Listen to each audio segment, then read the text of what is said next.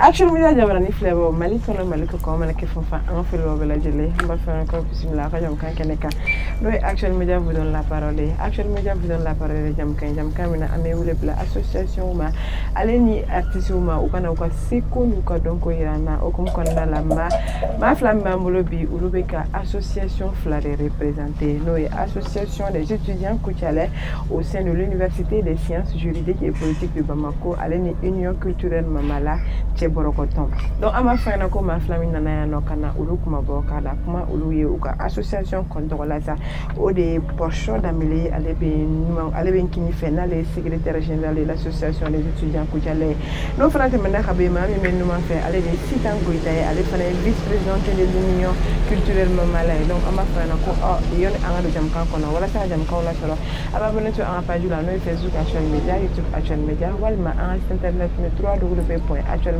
jàppanet ama ko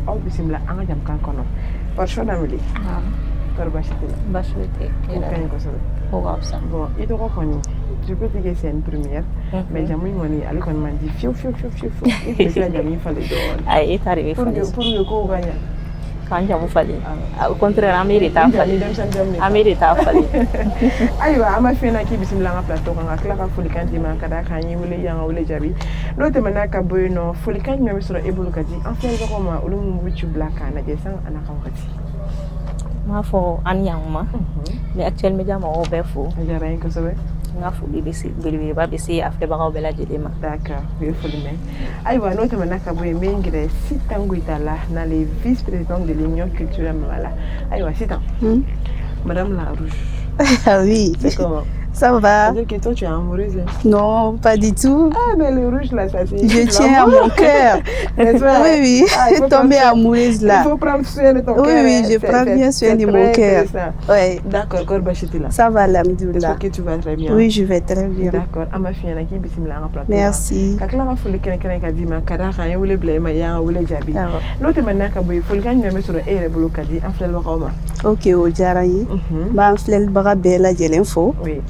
ka Actuel média mɔgɔw k'aw yɛrɛ fo aw ka baara tagabolo ɲuman na mhm. donc bi an bɛ an ka association hokumu de kɔnɔna na mhm. n'o ye union culturelle Mamala ye ani e, e, e, association des jeunes ressortissants de Kucala les Kucalais donc an bɛ ka activité dɔ organiser mhm. an b'o kɔnɔna de la donc ne yɛrɛ union culturelle Mamala jeunes ka bureau sifinnakaw ka bureau ne y'o vice présidente ye donc an bɛ yan bi o hokumu kɔnɔna de la jamana kɔnɔ n'i ko mamala mhm. an hakili bɛ jigin la ah oui oui oui tiɲɛ don an confront an confronté la o problème in na ka caya mɔgɔ caman b'a ɲininka k'an ka association ye ko mamala de ta don wa non mamala ça veut dire miyanka miyanka miyanka c'est une langue miyanka mhm. donc a bɛ a b'a fɔ de miyankaw mamala ça veut dire miyanka c'est différent de mamala que les gens connaissent mɔgɔw bɛ mamala min dɔw tɛ mais c'est une langue miyanka voilà Mais an y'a ye k'a fɔ ko mamala mhm. ani ko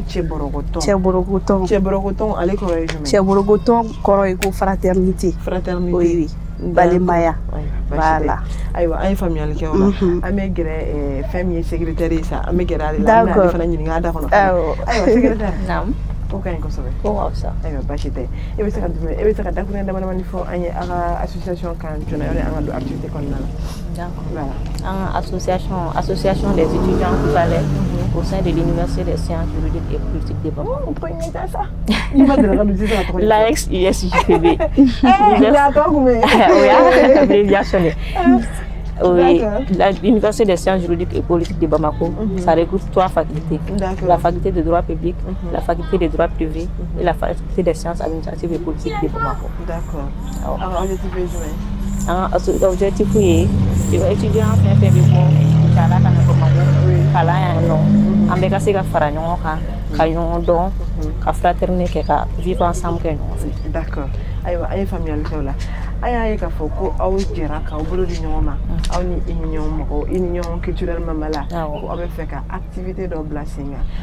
initiative bɔra jɔn la n bɛ initiative a bɔra mais association des étudiants Kucala olu bɛ deli k'a kɛ journée culturelle in kɛ nin y'olu ka 3 édition de ye mais union culturelle Mambala in an bɛ se k'a fɔ nin y'olu siɲɛ fɔlɔ ye k'a kɛ olu ka édition fɔlɔ ye an kɔni farala ɲɔgɔn kan an bɛɛ de bɛ k'a kɛ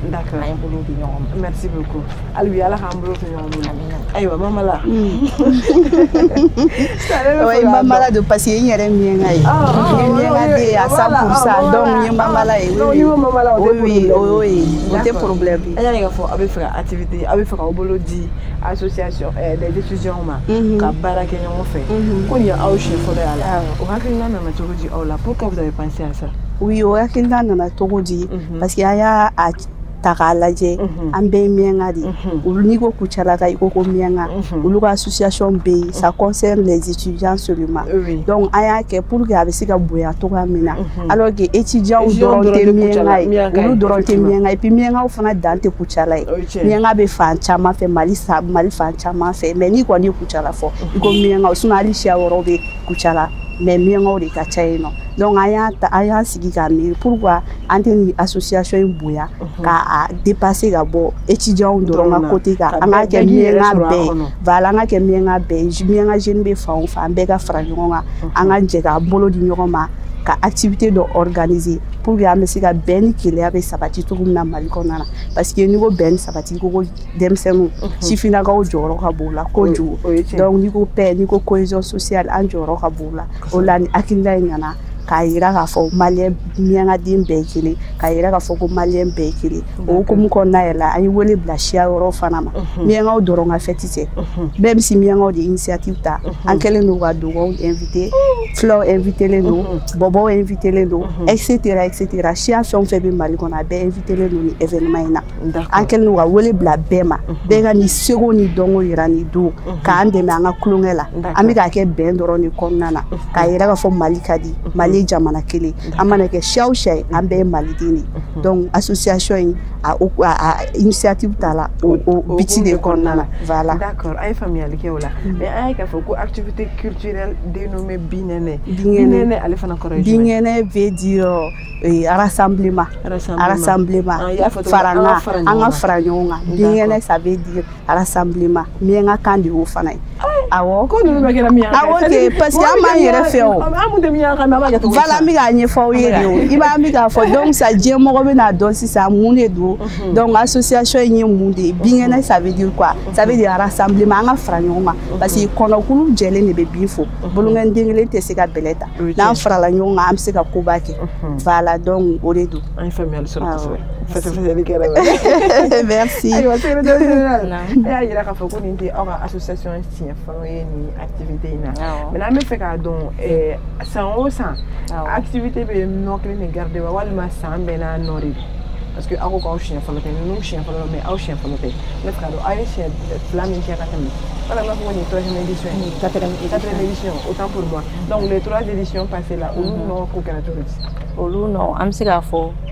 association étudiant association là.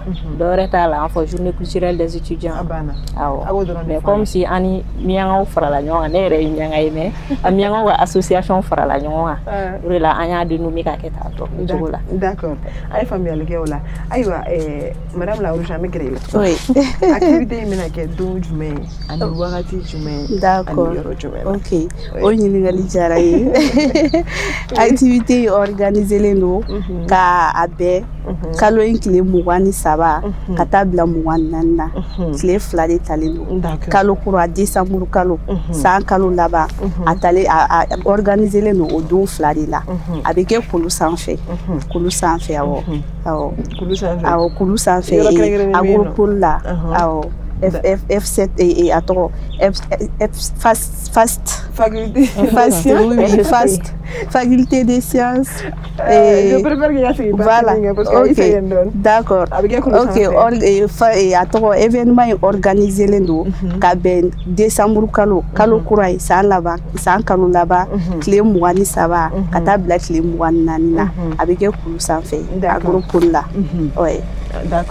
là. Mhm. Eh, amen, un thème question, amen opposé, parce que je, vois que au thème chama mais à Mais à ma gueule, secrétaire général, na fɔlɔ an b'a layɛ n'o y'a sɔrɔ in bɔra aw de la walima ni thème n'aw jɛra ka thème in sugandi ɲɔgɔn fɛ ayiwa min gɛrɛ i la madame Larouche an bɛ fɛ k'a dɔn aw ka qu'est-ce que vous avez au programme ka di mɔgɔw ma dans durant ces deux jours parce que aw tɛ se ka mɔgɔw wele tile fila kɔnɔ f'aw ka fɛn d'u ma walima aw ka fɛn f'u ye voilà an bɛ fɛ ka dɔn qu'est-ce que vous avez au programme d'accord fɛn caman labɛnnen don nin festival ni euh, euh, activité in kɔnɔna na komi mhm. y'a f'i ye cogo a y'a fɔ cogoya min na nin y'a union ka tako fɔlɔ ye mhm. donc fɛn jumɛn fɛn ninnu na mhm. conférence débat b'a la mhm. i n'a fɔ i bɔla ka ɲininkali kɛ thème kan parce que n'i ye mɔgɔ wele ka na i yɛrɛ ka kuma f'i ka kuma f'u f'i ka fɛn dɔ f'u ye donc an an miirila voilà an bɛ an ka damaw don an bɛ fɛn d'u ma awɔ e dumuni b'a la dumuni b'a la ɲɛnajɛ b'a la conférence débat in na an bɛ an bɛ fɛn d'aw ma wa an bɛ fɛn f'aw ye fana donc conférence débat in na an ye thème naani de choisi o kɔnɔna na awɔ.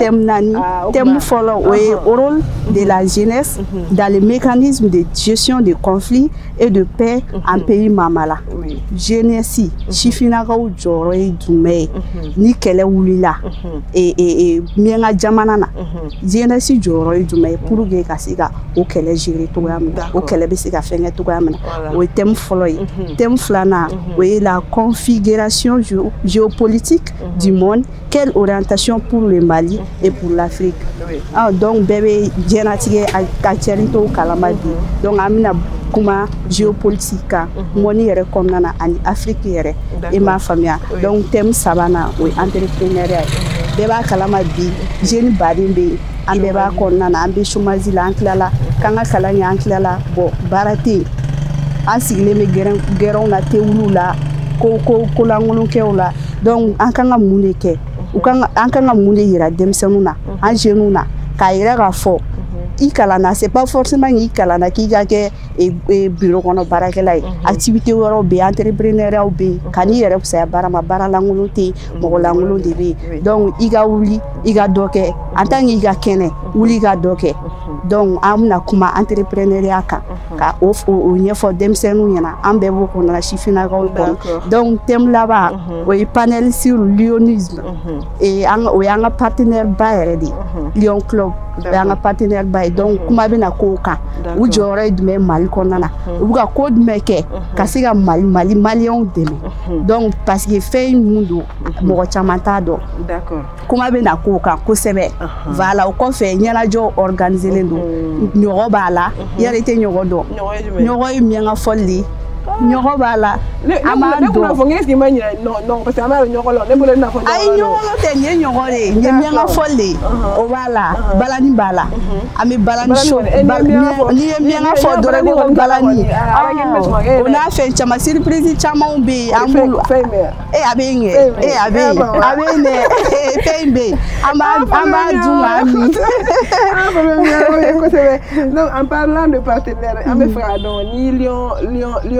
Lion, Lion Club. Lion Club. Ah, oui. N'o bɔra la partenaire wɛrɛ bɛ aw bolo mun bɛ ka aw jukɔrɔmati di aw ka édition ninnu na. bon oui mais mm -hmm. Lion Club de y'an ka partenaire ba yɛrɛ yɛrɛ yɛrɛ pour le moment. Uh mhm. -huh. promesses caman talen don mhm. mais u ma tenu fɔlɔ.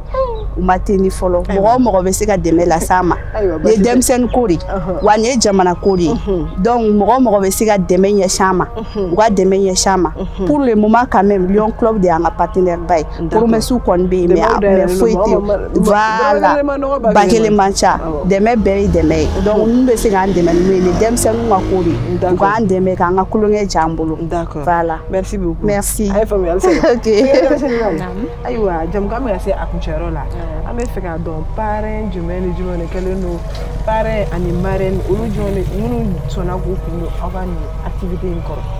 Tapi ngwa fo dibla jam kan kono yani an ga jam kan ko je merci beaucoup oui ajar ani mm -hmm. parents di bambulu marene wa ama marene marene wa sura atele nga wa marene ah problem fu sita da ni war ni bulu ni yo mi bulu hada ma yi marene ya da je war ku ne me siga ne me siga conseil na mo on sait jamais ah pour problème là là vous êtes la bienvenue oui pare ma bulu d'accord am e tashi bla nga pare là on e fait Boubacar Soukobaye il nous a quitté le 14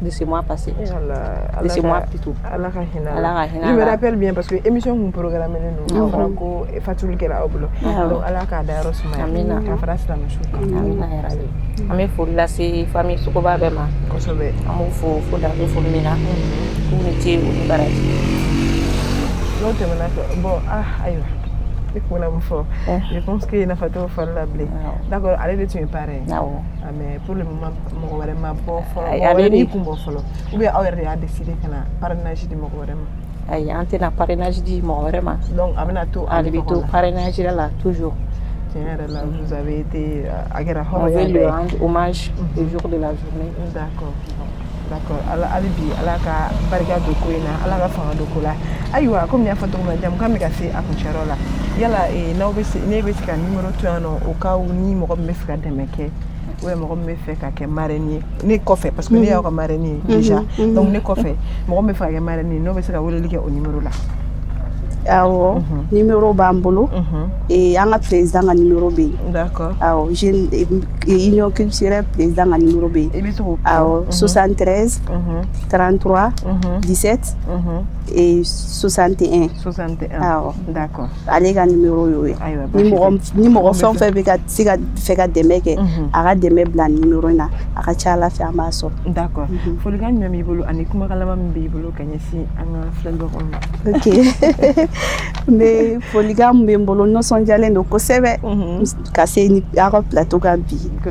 ne an lamɛnbaga bɛɛ lajɛlen fo an'an filɛlibaga bɛɛ lajɛlen vala k'aw yɛrɛ fo ka dugawu kɛ ala k'aw bolo mɛn aw ka baara la aw jɔda ka bon kosɛbɛ eh mali ka mali mali ɲɛtaga la surtout jeunɛsiw mhm. parce que aw ka fɛn ye denmisɛnninw ani seko n dɔnko tigilamɔgɔw ka ka se k'olu dɔn togoya min na donc foli belebeleba b'aw bolo mhm. an b'a bɛɛ lajɛlen fo mhm. k'an ka e, e, partenɛrɛw fo surtout lion club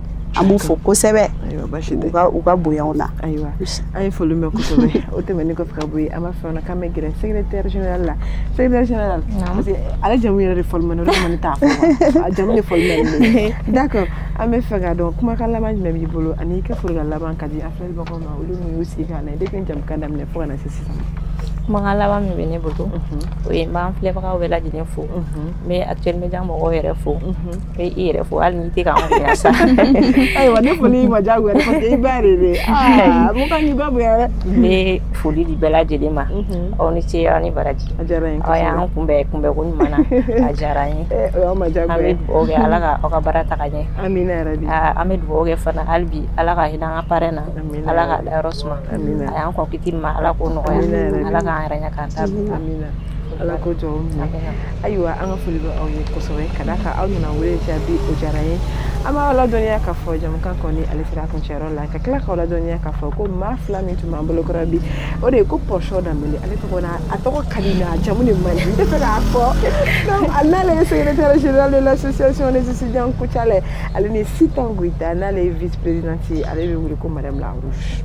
Alors, je vais présenter Oluflade Tunana Kanakuma au nom de l'association des étudiants Kouchalais au sein de l'Université des sciences juridiques et politiques de Bamako, en union culturelle Mamala Tcheborokoton.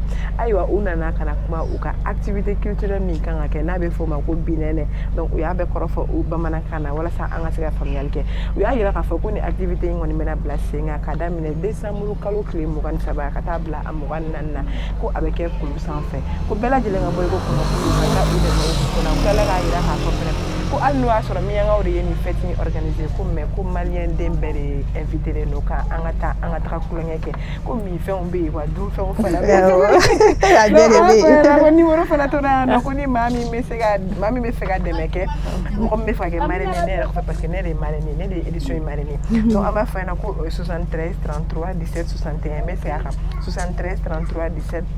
61 an bɛ tila k'a ladɔniya k'a fɔ ko fɛn min tun ye ɲina baara ye ko ala kɔni ye ale min ji dɔgɔya ni événement cɛ an bɛ dugawu kɛ ka tasibila kɛ ka ɲɛsin a ma ko ala ka baaraba da nɔgɔya ani silamɛw bɛɛ lajɛlen n'o tɛmɛna an b'a fɔ ɲɛna ko walasa ka jamukanw lasɔrɔ a b'a bɛna sɔrɔ an ka page la n'o ye facebook actual media youtube actual media walima an ka internet n'o ye www.actualmedia.net an b'a fɔ ɲɛna ko aw kan bɛn diɲɛ waati wɛrɛ wasalamu